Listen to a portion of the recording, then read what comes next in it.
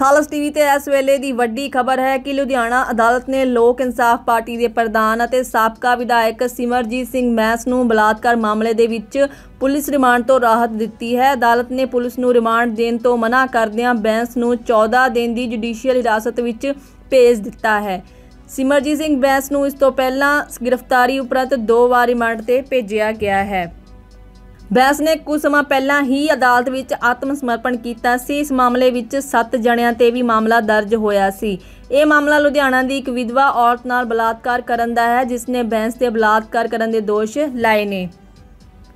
ਮੁਲਜ਼ਮ ਨੇ ਅਦਾਲਤ ਵਿੱਚ ਆਤਮ ਸਮਰਪਣ ਕਰਨ ਤੋਂ ਪਹਿਲਾਂ ਹੇਠਲੀ ਅਦਾਲਤ ਤੋਂ ਲੈ ਕੇ ਸੁਪਰੀਮ ਕੋਰਟ ਤੱਕ ਜ਼ਮਾਨਤ ਲਈ ਪੂਰੀ ਟਿੱਲ ਲਾਈ ਸੀ, ਪਰ ਕਿਧਰੇ ਵੀ ਢੋਈ ਨਾ ਮਿਲੀ ਤੇ ਆਖਰਕਾਰ ਉਸ ਨੂੰ ਆਤਮ ਸਮਰਪਣ ਕਰਨਾ ਹੀ ਪਿਆ। ਬੈਂਸ ਨੂੰ ਇਸ ਮਾਮਲੇ ਦੇ ਵਿੱਚ ਅਦਾਲਤ ਵੱਲੋਂ ਭਗੌੜਾ ਕਰਾਰ ਦਿੱਤਾ ਹੋਇਆ ਸੀ, ਜਿਸ ਤੋਂ ਬਾਅਦ ਪੁਲਿਸ ਉਸ ਨੂੰ ਲਗਾਤਾਰ ਲੱਭ ਰਹੀ ਸੀ।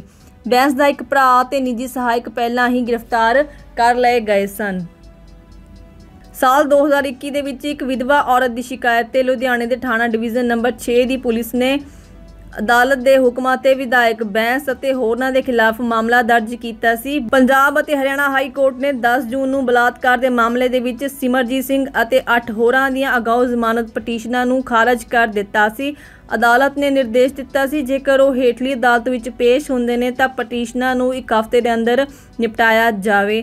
ਇਸੇ ਦੌਰਾਨ ਸਿਮਰਜੀਤ ਸਿੰਘ ਦੇ ਵੱਡੇ ਭਰਾ ਤੇ ਸਾਬਕਾ ਵਿਧਾਇਕ ਬਲਵਿੰਦਰ ਸਿੰਘ ਬੈਂਸ ਨੇ ਵੀ ਦੋਸ਼ ਲਾਇਆ ਸੀ ਕਿ ਉਸ ਦੇ ਭਰਾਵਾਂ ਨੂੰ ਬਲਾਤਕਾਰ ਦੇ ਕੇਸ ਵਿੱਚ ਨਜਾਇਜ਼ ਹੀ ਫਸਾਇਆ ਜਾ ਰਿਹਾ ਹੈ। ਉਹਨਾਂ ਕਿਹਾ ਕਿ ਉਹਨਾਂ ਨੂੰ ਨਿਆਂਪਾਲਕਾ ਤੇ ਭਰੋਸਾ ਹੈ ਤੇ ਉਹ ਇਸ ਮਾਮਲੇ ਵਿੱਚ ਸਫ਼ਾਈ ਵੀ ਪੇਸ਼ ਕਰਨਗੇ।